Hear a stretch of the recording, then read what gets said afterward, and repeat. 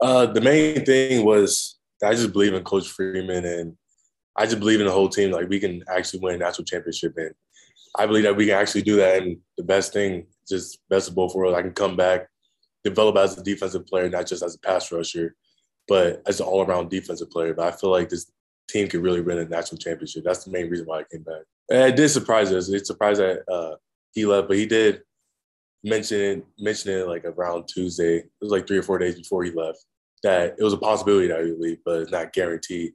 But like when he officially announced, it wasn't a surprise since we felt like it was going to happen. But I'm always like happy. I'm happy for him that he's going to Michigan, and it's just like a fresh new start. But I'm always happy for him. He's my guy. Uh, he was the first guy when Coach Kelly left. I I wanted Coach Freeman to be head coach, but that's my guy. We the whole defense, of all the players already have like a really good relationship with him since he was like defense coordinator. Who became uh, the um, uh, head coach, but all defense players are on board with him being head coach. But Coach Freeman, he's my guy. He's a real players coach, and I love him. I'm just excited where he can bring this team. I already know bringing in a lot more coaching staffs, hiring more and more people. We don't know who our uh, D line coach or defensive coordinator is, but the people that he's bringing in, like uh, Coach Mason coming in, he's building more and more people to make a national title run.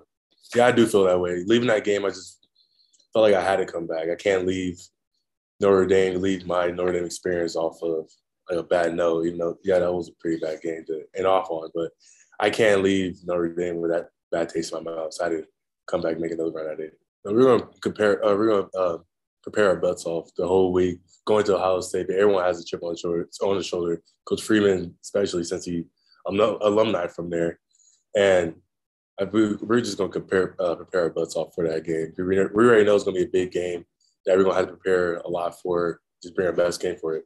Oh, it's been great, man. Coming from Chicago, it's, it's just cold a little bit, but that's not nothing I'm uh, not used to.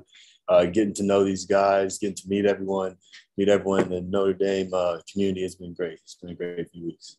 Yeah, I came to Notre Dame to maximize my potential. I think joining a defense, an elite defense like this, uh, having a piece like me that is returning, they're returning 18 starters and losing a guy like Kyle. So I think a guy like me stepping in and uh, and filling in the piece of the puzzle is exactly what we need to take uh, this place to the next level. Oh, huge factor. The night I entered the portal, or the day I entered the portal, I was on the phone with Coach Freeman that night, and uh, like I said, he told me that they're returning 18 and uh, I see that they're the number five team in the country. So I'm so excited to join. Coach Freeman has been great uh, to me since I've been. Yeah, as of now, I'm wearing number 16. So it's looking like 16's been my number since high school. I wore it sophomore year, and it's stuck to me. It's been treating me pretty nice ever yeah, since then. It's a good number. I mean, I'll tell you the fun story behind it. I was in high school and joined uh, varsity kind of late my sophomore year, and they only gave me a few numbers left. I was originally number one before.